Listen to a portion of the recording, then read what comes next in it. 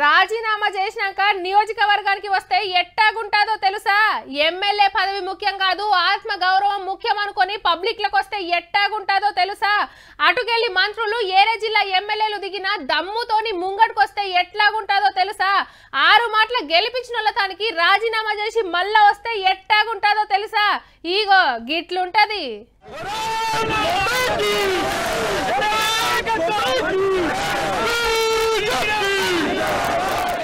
బీజేపీల షేరికై హుజరాబాద్ నియోజకవర్గంలో అడుగుపెట్టిన ఈటల రాజేందర్ సార్ను గిట్ల ఎదుర్కొన్నారు అభిమానులు. బీజేపీ ముఖ్యమైన లీడర్లు వివేక్ వెంకటస్వామి సారు రఘునందన్ సార్లతో కలిసి రోడ్ షో చేసిండు. అంబేద్కర్ సార్ విగ్రహానికి పూలదండేసి నివాళులర్పించిండు ఈటల సారు. రాంపూర్ శాలపల్లి చెల్పూర్ జమ్మికుంట కొత్తపల్లి ధర్మారం షాయంపేట నాగులపేట గుండ్రవల్లి తనుగుల మీదకెళ్ళి వావిలాలకు వచ్చిండ్రు. ఏ ఊరికొచ్చినా మంగళార్తులు బట్టి ఎదుర్కొన్నారు అమ్మలక్కలు ఉప సర్పంచులు వార్డు మెంబర్లు టీఆర్ఎస్ లీడర్లు రాజీనామా చేసి బీజేపీకి జైగొట్టిర్రు ఇక నాగారంలో భక్తాంజనేయ స్వామి దీవనార్థులు తీసుకున్నాడు.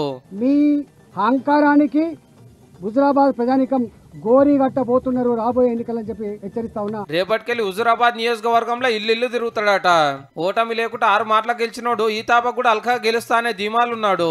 ఒక ఊరికాడ TRS MLC Palla Rajeshwar Reddy sir convoy కలిస్తే సర్కార్కు వ్యతిరేకంగా నినాదాలు చేసిర్రు.